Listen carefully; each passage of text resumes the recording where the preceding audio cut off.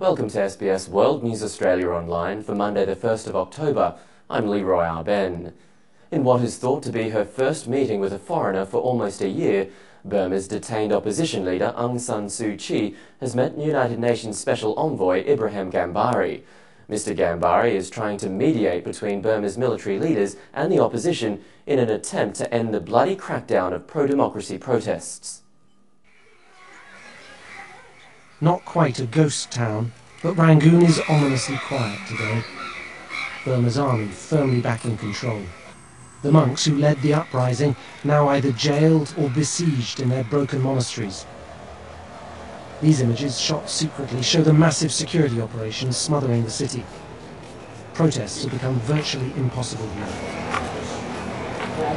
They've thrown a lot of troops at the problem. I hear there are about 15,000 have been um, dispersed in Rangoon. So outwardly it looks normal. Um, certain bits of the city look quite normal, but then you can turn a corner and there are some uh, quite substantial uh, military presences, little barbed wire. Into this menacing atmosphere comes the United Nations Special Envoy hoping to broker a deal. But the odds are not looking good.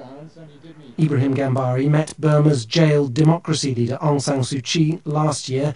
Today he saw her again he also met some senior generals, though not yet, it seems, the key leaders.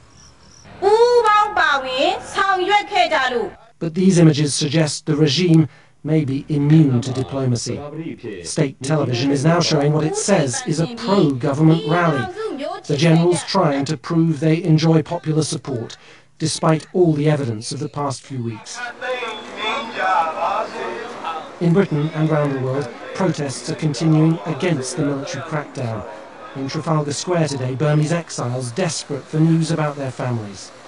I'm not able to telephone Burma um, easily in, in recent days because they cut off all the telephone calls and internet connection. So uh, they're, they're, I'm, we're, I'm obviously very worried, along with all my Burmese um, um, colleagues here. In Rangoon, opposition groups insist their struggle will go on, in one form or another. But this is a nation in shock, the fate of hundreds of missing monks and civilians still unknown. The danger is that diplomacy has come too late. The authorities are back in control of the streets, so why should they compromise now? But the brutality of the past few days and the fury that it's provoked could still come back to haunt the generals.